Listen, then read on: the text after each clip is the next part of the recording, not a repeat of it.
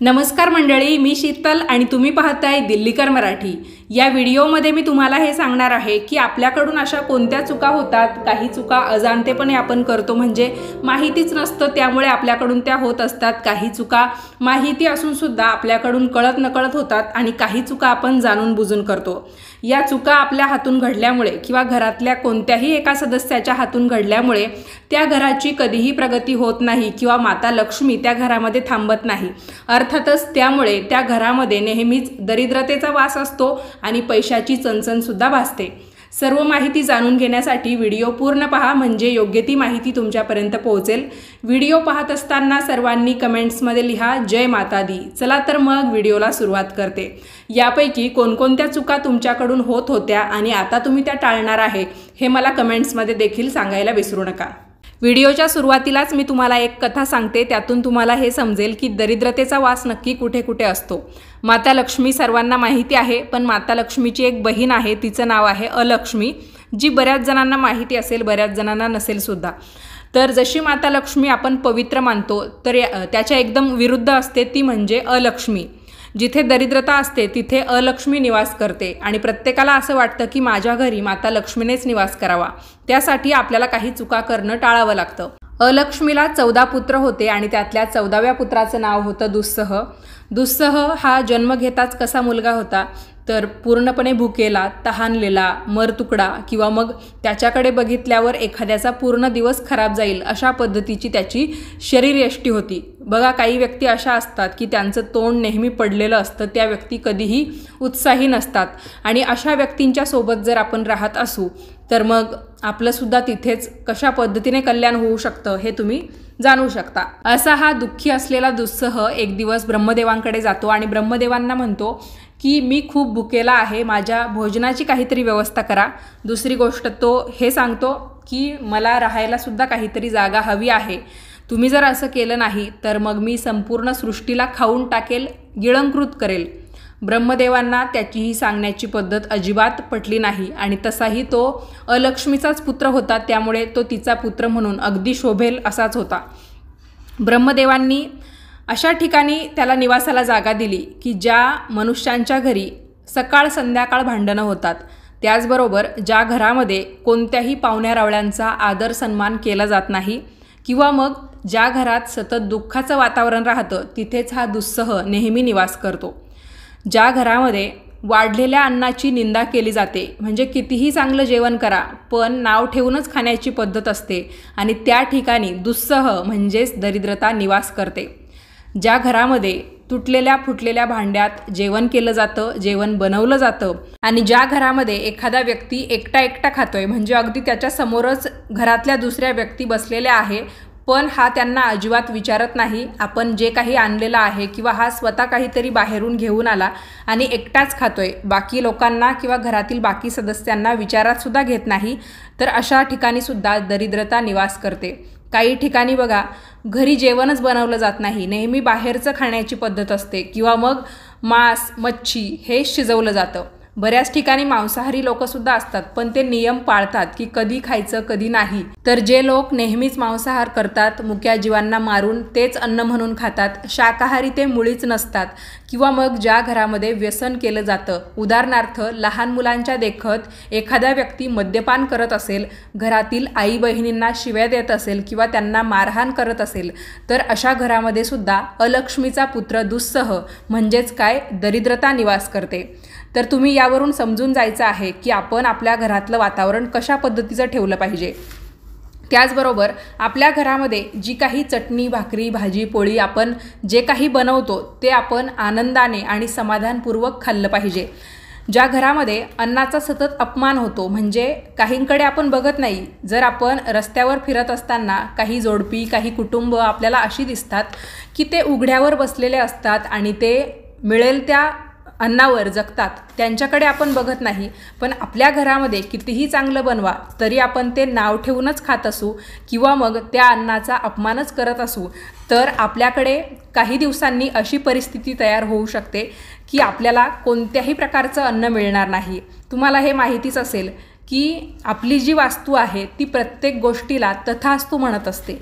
त्यामुळे आपण आपल्या घरामध्ये सतत वाईट विचार करत असू सतत असं निगेटिव्ह वातावरण तयार करत असू तर मग वास्तू त्या गोष्टींना सुद्धा तथास्तू म्हणणार आणि आपल्या घरामध्ये माता लक्ष्मी कधीच टिकणार नाही. तिथे अलक्ष्मी किंवा तिचे जे पुत्र आहे दुस्सहासारखे दरिद्रतेसारखे तर तेच निवास करतील. ज्या घरामध्ये महिलांचा छळ केला जातो मग ती आपली आई मुलगी बायको बहीण जे कोणी असेल किंवा आपलीच कुणीतरी नातेवाईक असेल बाहेरची एखादी स्त्री असेल जी आपली नातेवाईक नाही पण तीही एक महिला आहे अशा महिलांच्या बाबतीत आपण जर काही वाईट विचार करत असू त्यांच्यावर वाईट नजर ठेवत असू किंवा मग त्यांना मारहाण करणं त्यांचा छळ करणं त्यांच्याशी कपटभावाने वागणं यामध्ये फक्त पुरुषच नाही तर काही महिलासुद्धा महिलांचा छळ करतात त्यांना वाईट वागणूक देतात. जर तुम्ही महिलांचा असा छळ करत असाल तर मग तुमच्या घरामध्ये कधीही लक्ष्मी नांदणार नाही. लक्षात ठेवा सगळ्यात जास्त तळतळाट कोणाचा लागतो तर तो म्हणजे महिलांचा. कारण कोणत्याही प्रकारची महिला असो ती माता लक्ष्मीचं स्वरूप समजली जाते आणि ज्या घरामध्ये लक्ष्मीरूप महिलांचा अपमान केला जातो त्या घरामध्ये माता लक्ष्मी टिकत नाही तिची बहीण अलक्ष्मी निवास करते.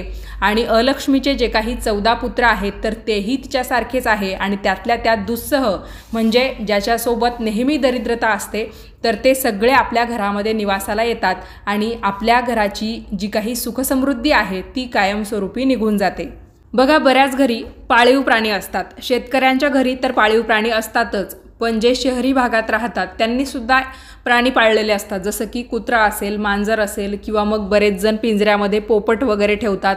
कुणी कुणी घरामध्ये कासव ठेवतं. अर्थातच घरामध्ये जिवंत कासव ठेवणं कायद्याने गुन्हा आहे. पण बरेच जण ठेवतात. ते कसं काय ठेवतात माहिती नाही. पण कोणत्याही प्रकारचा पाळीव प्राणी जर आपल्या घरामध्ये असेल आपण मस्त आनंदाने खातो पितो आपल्याला भूक लागली तर आपण आपल्या घरातल्या मंडळींना सांगतो किंवा स्वतः बनवून खातो की भूक लागलेली आहे काहीतरी खाल्लं पाहिजे काहीतरी पिलं पाहिजे. म्हणजे आपलं पोट भरलेलं असेल तर आपण कामसुद्धा नीट प्रकारे करू शकू आपलं कामात लक्ष लागेल. पण काही ठिकाणी असं होतं की पाळीव प्राणी घरामध्ये एखाद्या शोपीससारखे पाळून ठेवतात पण त्यांना नेहमी भुकेलं ठेवतात किंवा त्या प्राण्यांचा छळ केला जातो. शेतकरी वर्गसुद्धा त्यातले काही लोक असेही करतात. श शक्यतो शेतकऱ्याला तरी ही जाण असते की आपल्या घरी प्राणी आहे जशी आपल्याला भूक लागते आपण कष्ट करतो हे पाळीव प्राणीसुद्धा आपल्याबरोबर आपल्या कष्टाला आपण म्हणजे आपण जे काही कष्ट करतो तर त्यांच्याकडूनसुद्धा शेतकरी वर्ग कष्ट करून घेतो. जसं की बैलांकडून पाळीव प्राण्यांकडून सुद्धा कष्टासाठीच त्यांचा वापर केला जातो. शेतकरी तरी या गोष्टी पाळतात तरी पण तुमच्यापैकी काही जण फक्त त्या प्राण्यांचे कष्टच घेत असतील किंवा त्यांना फक्त दावणीला बांधून ठेवलेलं असेल तुम्ही त्यांच्या अन्नपाण्याकडे लक्ष देत नसाल तरी पण त्या मुक्या जीवांचा तळतळाट तुम्हाला लागू शकतो. त्यामुळे घरामध्ये पाळीव प्राणी ठेवताना हा विचार करा की आपण जेव्हा कुठे गावाला जाऊ तर आपण त्यांना सोबत घेऊन जाऊ शकू का? किंवा मग शहरी भागातल्या लोकांचं खास करून सांगायचं झालं तर अगदी छोटीशी कुटुंब पद्धती असते. मोजकेच लोक शहरी भागात राहतात वास्तव म्हणजे एक कुटुंब म्हणून. आणि जेव्हा ते कुठे गावाला जातात तर मग आपण पाळलेला पाळीव प्राणी आपण त्याला सोबत घेऊन जाऊ शकू का? किंवा मग आपण जर गावाला गेलो तर आपण एखाद्या दुसऱ्या व्यक्तीकडे म्हणजे आपल्या ओळखीच्या लोकांकडे आपण त्याला काही दिवस देऊ शकू का? नाहीतर त्याची उगाच हाल व्हायला नको. त्या जीवाला वाचा नाही पण तो आपल्याला अशा पद्धतीने तळतळाट नक्की देऊ शकतो की तुम्ही तुमची मज्जा हजा केली. पण मला मात्र उपाशी तापाशी तहानलेलं भुकेलं तुमच्या घरामध्ये डांबून ठेवलं. बरेच जण पोपट पाळतात अगदी छोटासा पिंजरा असतो किंवा मग आजकाल खूप रंगेबिरंगी पक्षी यायला लागलेले आहेत. ते पण आपण आकर्षण म्हणून किंवा एखादा शोपीस म्हणून आपल्या घरामध्ये पाळून ठेवतो. पण अगदी त्या छोट्याशा जागेत ते पक्षी वास्तव्य करतात आणि काही दिवसांनी बिचारे मरूनसुद्धा जातात. पण त्यांनी आपल्याला काय तळतळाट दिलेला असतो हे आपल्यालासुद्धा माहिती नसतं. त्यामुळे पाळीव प्राणी पाळताना हा विचार करा शक्यतो कोणत्याही पक्षाला कोणत्याही प्राण्याला अशा छोट्याशा पिंजऱ्यामध्ये डांबून ठेवू नका. आपण तिथे स्वतःची कल्पना केली पाहिजे. की जर मला अशा छोट्याशा पिंजऱ्यामध्ये ठेवलं तर मी राहू शकेल का? आपल्याला तर पाच मिनिटंसुद्धा मोबाईलशिवाय होत नाही. आपण साधं बाथरूमला गेलो तरी आपल्यासोबत मोबाईल घेऊन जातो. इतकाही आपल्याला विश्वास नसतो किंवा मग सतत आपण एका कम्फर्ट झोनमध्ये राहत असतो. पण प्राण्यांच्या बाबतीत आपण ही अशा पद्धतीची वागणूक करणं कितपत योग्य आहे हे आपण ठरवलं पाहिजे. आणि कुत्रे मांजर जे काही असतील तर त्यांना हिंडण्याची फिरण्याची सवय असते. तुम्ही जर त्यांना साखळीने एकाच ठिकाणी बांधून ठेवलं तर त्यांचा जीव काय म्हणत असेल हे तुम्ही लक्षात घ्यायला हवं. भलेही तुमच्या घरात तुमची परिस्थिती कितीही चांगली असेल पण तुम्हाला कधीकधी असं जाणवत असेल की माझी परिस्थिती सगळ्या प्रकारे चांगली आहे माझ्याकडे पैसा भरपूर आहे पण पाहिजे तसं वातावरण माझ्या घरात नाही आहे सतत काही ना काही भांडणं होतात कटकटी होतात किंवा सुख लागत नाही. तर त्यामागे हे सुद्धा एक बळकट कारण असू शकतं. त्यामुळे या गोष्टींचा विचार करा आणि मगच पाळीव प्राणी तुमच्या घरामध्ये ठेवायला सुरुवात करा. नाहीतर तुम्हाला कुणीही जबरदस्ती केलेली नाही आहे की आपल्या घरामध्ये पाळीव प्राणी असलाच पाहिजे. तुम्हाला जर पाळीव प्राण्यांची सेवा करायची असेल तुम्हाला ते आवडत असतील तर तुम्ही आठवड्यातून एकदा महिन्यातून एकदा गोशाळेला भेट द्या किंवा मग काही प्राणी संग्रहालय असतात तिथे तुम्ही जाऊ शकता. तिथे जाऊन तुम्ही प्राण्यांना पक्ष्यांना बघून तुमचा आनंद तुमच्या हृदयामध्ये तुमच्या पोटामध्ये सामावून घेऊ शकता. यानंतरची पुढची गोष्ट प्रत्येक धर्माला काही ना काही महत्त्व असतं. प्रत्येक धर्माचे काहीतरी नियम असतात. भले आपला हिंदू धर्म असेल किंवा काही लोक इतर धर्माचे सुद्धा असतील प्रत्येकाला आपला धर्म प्रिय आहे. पण जो व्यक्ती आपल्या धर्माचं पालन करत नाही त्याच्या विरुद्ध वागतो तर त्याच्या घरीसुद्धा देवी लक्ष्मी कधीच टिकत नाही किंवा त्या व्यक्तीला सुख कधीही लाभत नाही. यानंतरच्या काही गोष्टी अतिशय महत्त्वाच्या आहेत त्याही मी तुम्हाला सांगू इच्छिते. की काही जण काय करतात देवाच्या मंदिरात जातात. मंदिरात खूप गर्दी असते. मग तिथे त्या मंदिरातली घंटी वाजवायला आपल्याला काही भेटत नाही. नाही भेटली तर तुम्ही डायरेक्ट जा दर्शन करा. पण काही जण काय करतात मंदिरात जाताना घंटी वाजवायची काही जणांची राहून जाते किंवा मग खूप गर्दी असल्यामुळे घंटीपर्यंत आपण जाऊ शकत नाही. डायरेक्ट जातात दर्शन करून बाहेर निघतात. पण मग येताना जर मोकळी जागा दिसली की अरे आपण जाताना घंटी वाजवली नाही म्हणून लगेच ती घंटी वाजवतात आणि थेट मंदिराच्या बाहेर निघतात. पण असं करणं खूप चुकीचं आहे. तुम्हाला जर जाताना घंटी वाजवायला मिळत असेल तर ती वाजून मगच मंदिरात प्रवेश करा. याचा अर्थ काय होतो की आपण देवाला एक प्रकारे त्या घंटीच्या आवाजाद्वारे हे सांगत असतो की देवा मी तुझ्या दर्शनासाठी आलेलो आहे. तू जागृत हो. मला तुझं दर्शन दे आणि मला तुझा भरभरून आशीर्वादसुद्धा दे. पण नाही वाजवायला मिळाली तर नाराज व्हायचं काही कारण नाही. पण मंदिरातून पुन्हा बाहेर निघताना म्हणजे दर्शन घेऊन बाहेर निघताना कधीच आपल्याला घंटी वाजवायची नसते.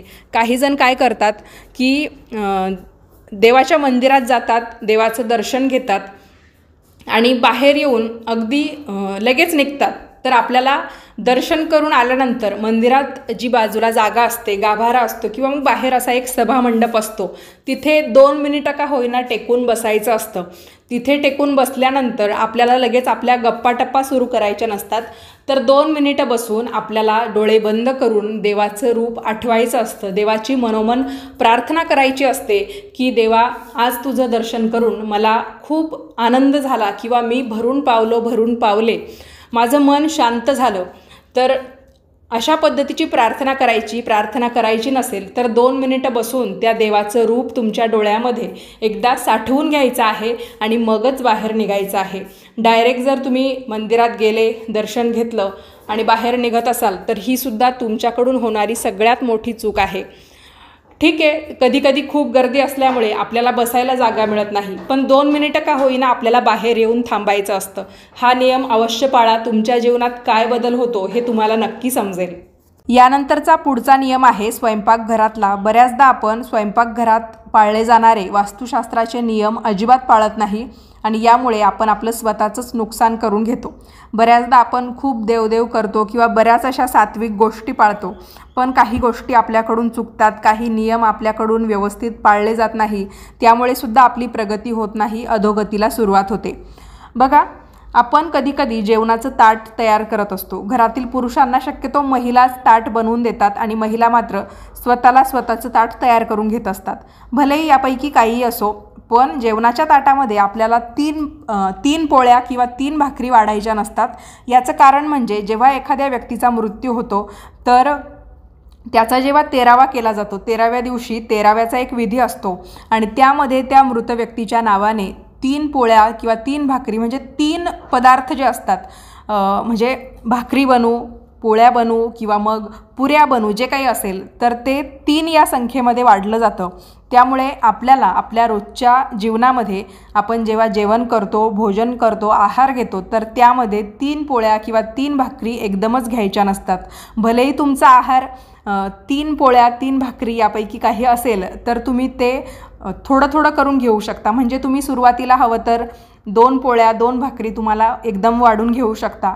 आणि एक भाकरी जी आहे ती तुम्ही नंतर घेऊ शकता. पण एकदमच तुम्हाला तीन या संख्येमध्ये जेवण वाढताना त्या तीन पोळ्या किंवा तीन भाकरी घ्यायच्या नाही आहे किंवा एखाद्याचा टिफिन तुम्ही भरून देत असाल तर त्यामध्ये सुद्धा तुम्हाला तीन या संख्येमध्ये पोळी किंवा भाकरी द्यायची नाही आहे बाकी तीन पदार्थ तुम्ही तुमच्या जेवणात वेगवेगळे घेऊ शकता.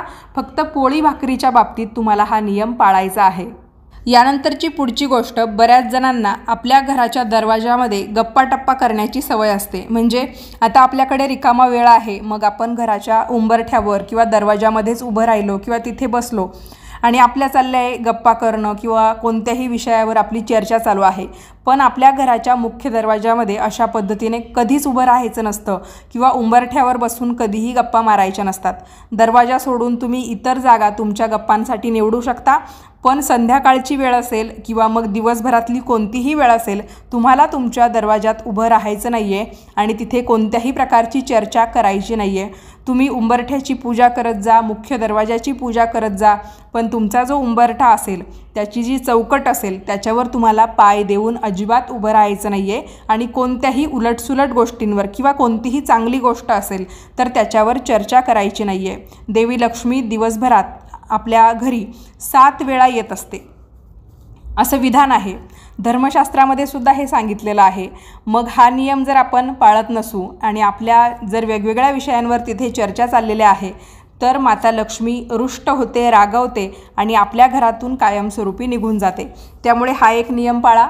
त्याचबरोबर पुढची गोष्ट ही आहे की एखादा व्यक्ती झोपलेला आहे भलेही तो वडीलधारा व्यक्ती आहे बऱ्याच वेळा आपल्याला आपल्या वडीलधाऱ्या व्यक्तींचे चरणस्पर्श करायचे असतात म्हणजे त्यांच्या पाया पडायचं असतं. पण एखादा व्यक्ती त्यातला झोपलेला असेल तर झोपलेल्या व्यक्तीचे कधीही चरणस्पर्श करू नका. तो व्यक्ती झोपलेला आहे तर राहू द्या तुमच्यावर कोणीही राग भरणार नाही.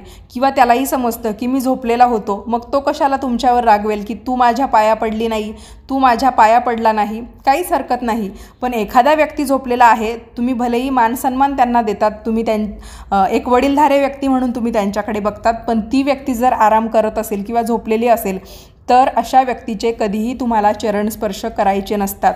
ही अतिशय चुकीची गोष्ट आहे. चरणस्पर्श म्हणजे झोपलेल्या व्यक्तीचे चरणस्पर्श कधी करतात ही गोष्ट तुम्हाला माहिती आहे. एखाद्या व्यक्तीचं निधन झालेलं असतं तर त्याची जेव्हा अंतिम संस्कार करण्याची वेळ येते तर मग सगळेजण त्याचं शेवटचं दर्शन घेत असतात. तर त्या पद्धतीने त्याचा अर्थ होतो. त्यामुळे एखादा व्यक्ती झोपलेला असेल तर तेव्हा त्याचे चरणस्पर्श अजिबात करायचे नाही. तेव्हा तुम्हाला ही गोष्ट टाळून घ्यायची आहे. त्याचबरोबर एखादी स्त्री गर्भवती असेल तर गर्भवती स्त्रीने कोणत्याही स्त्रीची ओटी भरायची नाही. तिची ओटी जोपर्यंत बाळाने भरलेली आहे म्हणजे तिची जोपर्यंत डिलिव्हरी होत नाही तोपर्यंत गर्भवती स्त्रीने दुसऱ्या कोणत्याच स्त्रीची ओटी भरायची नाही. अगदी देवीची जरी ओटी असेल तर तीसुद्धा भरायची नाही कारण देवीने तुमची ओटी आधीच भरलेली आहे. जेव्हा तुमची डिलिव्हरी होईल तुम्ही जर काही नवस सायास काही केलेलं असेल तर तुमचं बाळ झाल्यानंतर तुम्ही त्या देवीच्या देवाच्या दर्शनाला जाऊ शकता. तिथे तुम्ही काही कबूल केलेलं असेल की ओटी भरेल वगैरे तर त्या पद्धतीने तुम्ही पुढची कार्य करू शकता. तुम्ही जर जेवण करत असाल तुम्ही तुमच्या घरात असताना तुमच्या दारावर कोणी याचक आला किंवा एखादा पाळीव प्राणी आला की अन्न पाणी मिळेल या अपेक्षेने तर त्याला कधीच हाकलून लावू नका. तुम्हाला जर त्याला काही द्यायचं नसेल तर त्याला चिडवू नका किंवा मग त्याचा अपमान करू नका.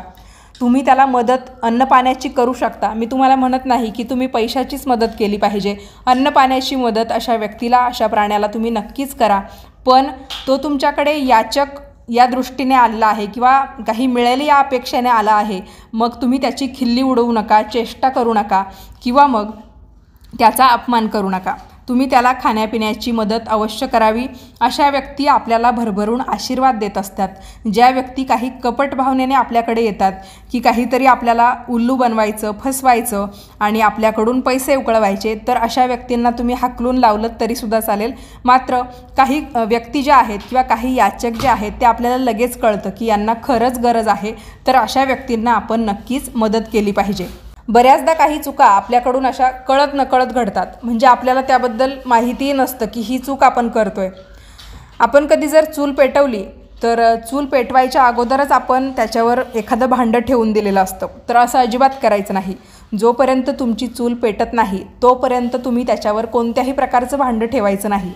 अग्नीला आस लागते असं म्हणतात. म्हणजे काहीतरी अपेक्षा त्या अग्नीला लागलेली असते.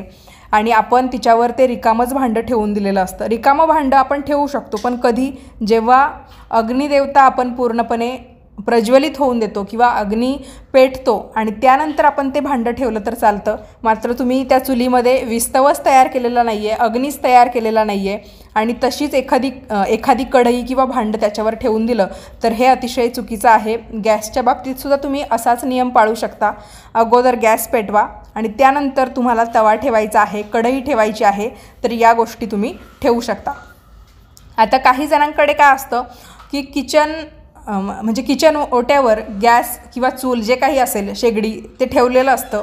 आणि त्याच लाईनमध्ये बेसिनसुद्धा असतं. तर अग्नी आणि पाणी एकाच रेषेमध्ये असावं असा नियम नाही आहे म्हणजे ते थोडंसं वेगळ्या ठिकाणी असावं हा नियम आहे खरं तर. तर मग आपण जर भाड्याच्या घरात राहत असू किंवा मग कधी कधी वास्तुशास्त्रानुसार घरं बांधलेली नसतात. मग आता त्याच्यावर पर्याय काय? तोडफोड करायची का? तर अजिबात नाही. तोडफोड केल्यामुळे त्या घरातील वास्तुदोष अजून वाढतात. त्यामुळे काय करायचं? तुमचं जर बेसिन आणि तुमची स्वयंपाकाची जागा एका सरळ रेषेत येत असेल की जिथे अग्नी पण त्याच रेषेमध्ये पेटतो आणि पुढे गेलं तर बेसिन पण आहे तर दोन्ही एकसमान रेषेमध्ये येतात. तर मध्ये तुम्ही एखादं आपलं जे इंडोर प्लांट आपण म्हणतो की एखादी छोटीशी झाडाची कुंडी म्हणा तर ती ठेवू शकता. किंवा मग स्वयंपाक करत असताना तुम्हाला काय करायचं आहे? एक छोटीशी वाटी पाण्याने भरून त्या गॅस शेगडीजवळ ठेवायची आहे. तर तीन बर्नरचा तुमचा गॅस असेल किंवा तुमच्या गॅस शेगडीच्या आणि बेसिनमध्ये एकसारखेपणा एका सरळ रेषेत या गोष्टी येत असतील तर तुम्ही एक झाड लावू शकता किंवा मग एक पाण्याने भरलेली वाटी तुमच्या गॅस शेगडीजवळ स्वयंपाक होईपर्यंत ठेवू शकता. बऱ्याच वेळा आपण काय करतो ओला तवा गॅसवर ठेवतो म्हणजे आपण तो तवा स्वच्छ केलेला असतो पाण्याने वगैरे आणि मग आता आपल्याला पोळी भाकरी काहीतरी करायची आहे मग तो तवा गॅसवर ठेवतो चुलीवर ठेवतो. थोड्या वेळाने काय होतं तो तवा गरम होतो आणि ते पाणी जे आहे ते जळायला सुरुवात होते. आणि असा एक वेगळा आवाज येतो चरचर किंवा मग त्या पाण्याचा जळण्याचा आवाज आपल्याला येतो. यामुळे काय होतं राहू केतू दोष उत्पन्न होतात. म्हणूनच असं सांगितलं जातं जेव्हा आपली पोळी भाकरी जे काही असतं पराठे वगैरे बनवून झालं की त्या गरम तव्यावर लगेच पाणी मारायचं नसतं. किंवा मग जेव्हा आपण तवा स्वच्छ धुतो तर कपड्याने पुसून मगच तो चुलीवर किंवा गॅसवर ठेवत जा जेणेकरून त्या पाण्याचा आवाज येणार नाही. आणि तुमच्याकडून जर ही चूक होत असेल किंवा मग कळत नकळत तुमच्याकडून हे होऊन जात असेल तर जेव्हा तो तवा गरम व्हायला लागतो पाण्याबरोबर तेव्हा लगेचच तिथे थोडंसं दूध तुम्हाला शिंपडायचं आहे. त्यामुळे दुधाचा आवाज आला तर चालतं पण पाण्याचा जो काही आवाज नुसता त्या तव्यावर येत असतो त्यामुळे राहू केतू दोष उत्पन्न होतात. नाहीतर मग तुम्ही काय करा ते पाणी थोडंसं जळू द्या आणि त्यानंतर थोडंसं दूध शिंपडा आणि मगच तुमच्या स्वयंपाकाला तुम्ही सुरुवात करू शकता. पिंपळाचं झाड असेल किंवा मग इतर कोणत्याही प्रकारचं झाड संध्याकाळी झाडाखाली बसून कोणत्याही प्रकारचे पदार्थ आपल्याला खायचे नाही आहे आणि पिंपळाचं जे झाड असतं तर पिंपळाच्या झाडामध्ये मुंजाबाचा वास असतो असं म्हटलं जातं. भगवान श्रीहरी विष्णूंच्या संबंधितसुद्धा पिंपळाचा उल्लेख येतो माता लक्ष्मीच्या संदर्भातसुद्धा पिंपळाचा उल्लेख येतो. पण या पिंपळाच्या झाडाखाली बसून कोणत्याही प्रकारचे अन्नपदार्थ खायचे नसतात. नाहीतर आपल्या पाठी एखादा दोष नक्कीच लागू शकतो आणि त्याचे परिणाम आपल्याला भोगावे लागू शकतात. त्यामुळे हा एक नियम पाळायचा. त्याच्यानंतर जेव्हा तुम्ही संध्याकाळी कुठे कार्यक्रमाला वगैरे जातात किंवा मग घरातच राहतात तर सुगंधी पदार्थ शक्यतो प्रवासाला जाताना त्यातले त्यात रात्रीच्या वेळा अजिबात लावू नका. यामुळे सुद्धा वाईट शक्तींचा वास आपल्या अवतीभोवती होऊ शकतो आणि त्याचे परिणामसुद्धा आपल्याला भोगावे लागू शकतात. अत्तरामुळे बऱ्याच प्रकारचे प्रॉब्लेम होतात. तुम्ही जर वास्तुशास्त्रानुसार ज्योतिषशास्त्रानुसार काही ठराविक पद्धतीचं अत्तर वापरलं तर त्यामुळे हे होणार नाही. पण आजकाल बऱ्याच प्रकारची सुगंधी द्रव्य उपलब्ध व्हायला लागलेली आहेत आणि काहींचा जो काही सुवास असतो तो अतिशय उग्र असतो. त्यामुळे सुद्धा या गोष्टी आपल्या पदरी पडू शकतात. वाईट गोष्टींचा सामना आपल्याला करावा लागू शकतो. त्यामुळे हे नियमसुद्धा आपण पाळले पाहिजे. जेव्हा आपण घरात राहतो तर आपल्याला अशी सुगंधी द्रव्य संध्याकाळच्या वेळा लावण्यात काहीच अर्थ नाही आहे बरेच जण असं लावतात पण हे अतिशय चुकीचं आहे. रात्रीच्या वेळा तुमचे कोणत्याही प्रकारचे कपडे बाहेर राहू देऊ नका. त्याचबरोबर अजून एक महत्त्वाची गोष्ट सांगायची झाली तर जेव्हा तुम्ही एखाद्या व्यक्तीच्या अंत्यसंस्काराला जातात तर तिथून निघताना कुणाला चला चला असं म्हणायचं नाही. प्रत्येकजण तिथले संस्कार आटोपले की बरोबर निघायला सुरुवात होते. त्यामुळे कुणालाही म्हणायचं नाही की चला आपण जाऊया.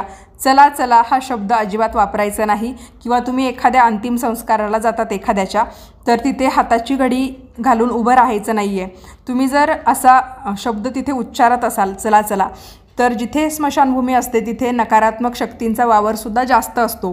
त्यामुळे त्या शक्ती आपल्या पाठीमागे येऊ शकतात असा त्याचा अर्थ होतो. त्यामुळे हा शब्द अजिबात उच्चारायचा नाही आणि एकदा की अंतिम संस्कार तिथले आटोपले की मागे वळून बघायचं नसतं. कारण देह जो आहे तो त्या व्यक्तीने त्यागलेला असतो आणि त्यालासुद्धा आता त्या नश्वर देहातून मुक्ती मिळावी. एक प्रकारे आपल्या कितीही जवळचा व्यक्ती असला तरी पण त्याच्या आत्म्याला शांती मिळावी म्हणूनच हा सगळ्यात शेवटचा संस्कार म्हणजे अंत्यसंस्कार केला जातो. आणि त्यामुळे आपल्याला तिथून निघताना मागे न बघता निघायचं असतं. तर चला मंडळी या व्हिडिओत मी तुम्हाला बऱ्याच गोष्टी समजावून सांगितल्या. यातले कोणते नियम तुम्हाला अगोदर माहिती होते कोणते नव्याने समजले कोणत्या चुका तुम्ही करत होतात आणि आता त्यामध्ये सुधारणा करणार आहात हेही मला कमेंट्सद्वारे सांगायला विसरू नका. मी तर तुमच्या कमेंट्स वाचते पण बरेच जण म्हणजे जे कमेंट्स लिहितात ते सुद्धा इतरांच्या कमेंट्स वाचत असतात. त्यांनासुद्धा त्यातून बरंच काही शिकायला मिळतं. त्यामुळे तुमची जी काही प्रतिक्रिया असेल चांगली वाईट जे तुमचे अनुभव असतील ते तुम्ही कमेंट्समध्ये नक्कीच नोंद नोंदवू शकता. आपण भेटूया पुढच्याच नवीन व्हिडिओमध्ये. तोपर्यंत सर्वांनी आपापली काळजी घ्या आणि अशाच प्रकारचे नवनवीन व्हिडिओ पाहण्यासाठी तसेच ऐकण्यासाठी आजच दिल्लीकर मराठी या यूट्यूब चॅनलला सबस्क्राईब करा. आजचा व्हिडिओ पाहिल्याबद्दल तुम्हा सर्वांचे खूप खूप आभार.